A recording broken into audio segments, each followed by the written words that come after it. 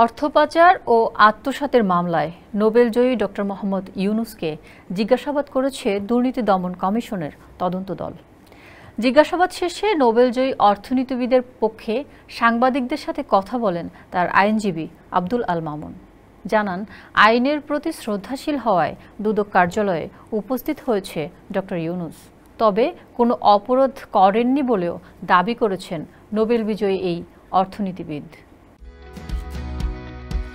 গ্রামীণ টেলিকমের অর্থ আত্মসাৎ ও পাচারের মামলায় দুদকের জিজ্ঞাসাবাদের মুখোমুখি হয়েছেন অভিযুক্ত নোবেল বিজয়ী অর্থনীতিবিদ ডক্টর মোহাম্মদ ইউনুস। প্রায় এক ঘণ্টা দুর্নীতি দমন কমিশনের তদন্ত কর্মকর্তাদের জেরা শেষে সাংবাদিকদের মুখোমুখি হন নোবেল বিজয়ী এই অর্থনীতিবিদ। জানান, এসব নিয়ে শঙ্কিত নন গ্রামীণ টেলিকমের চেয়ারম্যান। কোনো অপরাধ করেননি বলেও দাবি ডক্টর ইউনুসের।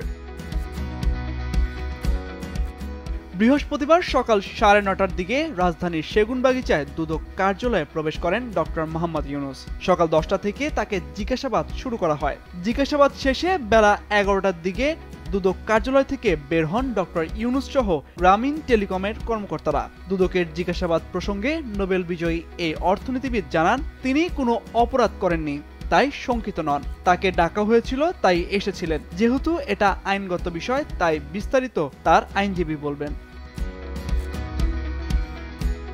পরে ইউনুসের আইনজীবী ব্যারিস্টার আবদুল্লাহ আল মামুন বলেন, এই মামলা অবশ্যই ভিত্তিহীন এবং তার বিরুদ্ধে কাল্পনিক অভিযোগ আনা হয়েছে। আইনের সমস্ত ব্যাখ্যা সেখানে দেওয়া হয়েছে। দুদক বলছে, ওই সমঝোতা চুক্তিটি জাল। এর জবাবে তিনি বলেছেন, আপনারা জাল বলতে পারেন না। কারণ দুই পক্ষের সমঝোতা যখন হয়, তখন আর সেটা জাল থাকে না। এছাড়া চুক্তিটি হাইকোর্টের অনুমোদন পাওয়া।